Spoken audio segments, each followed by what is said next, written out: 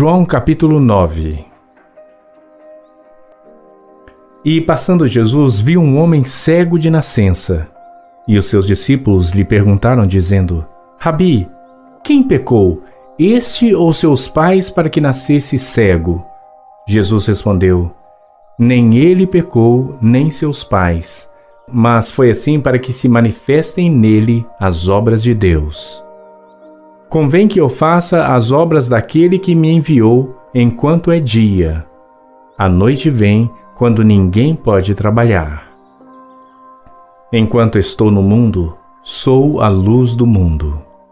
Tendo dito isto, cuspiu na terra e com a saliva fez lodo e untou com o lodo os olhos do cego.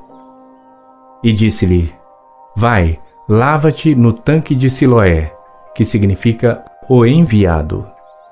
Foi, pois, e lavou-se e voltou vendo. Então os vizinhos e aqueles que dantes tinham visto que era cego diziam: Não é este aquele que estava assentado e mendigava? Uns diziam: É este. E outros: Parece-se com ele. Ele dizia: Sou eu. Diziam-lhe, pois, como se te abriram os olhos? Ele respondeu e disse: O homem chamado Jesus fez lodo e untou meus olhos e disse-me: Vai ao tanque de Siloé e lava-te. Então fui e lavei-me e vi. Disseram-lhe, pois: Onde está ele? Respondeu: Não sei. Levaram, pois, aos fariseus o que dantes era cego. E era sábado quando Jesus fez o lodo e lhe abriu os olhos. Tornaram, pois, também os fariseus a perguntar-lhe como vira, e ele lhes disse: Pôs-me lodo sobre os olhos, lavei-me e vejo. Então alguns dos fariseus diziam: Este homem não é de Deus, pois não guarda o sábado. Diziam outros: Como pode um homem pecador fazer tais sinais? E havia dissensão entre eles. Tornaram, pois, a dizer ao cego: Tu que dizes daquele que te abriu os olhos? E ele respondeu: Que é profeta. Os judeus, porém, não creram a seu respeito que tivesse sido cego e que agora visse, enquanto não chamaram os pais do que agora via. E perguntaram-lhes, dizendo: é este vosso filho que vós dizeis ter nascido cego? Como, pois, vê agora? Seus pais lhes responderam e disseram: Sabemos que este é o nosso filho e que nasceu cego, mas como agora vê, não sabemos. Ou quem lhe tem aberto os olhos, não sabemos. Tem idade, perguntai-lhe a ele mesmo, e ele falará por si mesmo. Seus pais disseram isto porque temiam os judeus, porquanto já os judeus tinham resolvido que, se alguém confessasse ser ele o Cristo, fosse expulso da sinagoga. Por isso é que seus pais disseram: Tem idade, perguntai-lhe a ele mesmo.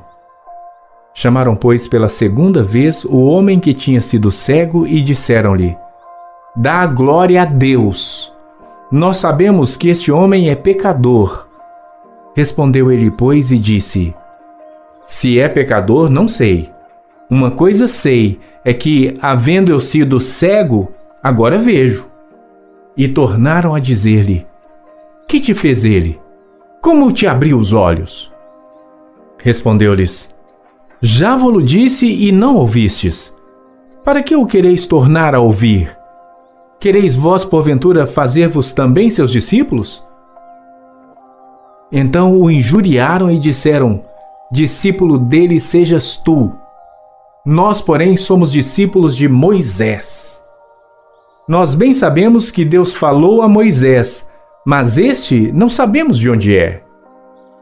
O homem respondeu e disse-lhes: Nisto, pois, está a maravilha, que vós não saibais de onde ele é, e contudo me abrisse os olhos. Ora, nós sabemos que Deus não ouve a pecadores, mas se alguém é temente a Deus e faz a sua vontade, a esse ouve. Desde o princípio do mundo, nunca se ouviu que alguém abrisse os olhos a um cego de nascença. Se este não fosse de Deus, nada poderia fazer. Responderam eles e disseram-lhe: Tu és nascido todo em pecados e nos ensinas a nós?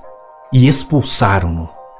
Jesus ouviu que o tinham expulsado e, encontrando-o, disse-lhe: Crês tu no Filho de Deus? Ele respondeu e disse: Quem é ele, Senhor, para que nele creia? E Jesus lhe disse: Tu já o tens visto, e é aquele que fala contigo. Ele disse: Creio, Senhor. E o adorou. E disse-lhe Jesus: Eu vim a este mundo para juízo, a fim de que os que não veem vejam, e os que veem sejam cegos. E aqueles dos fariseus que estavam com ele, ouvindo isto, disseram-lhe: Também nós somos cegos? Disse-lhes Jesus: se fosseis cegos, não teríeis pecado. Mas como agora dizeis, vemos, por isso o vosso pecado permanece.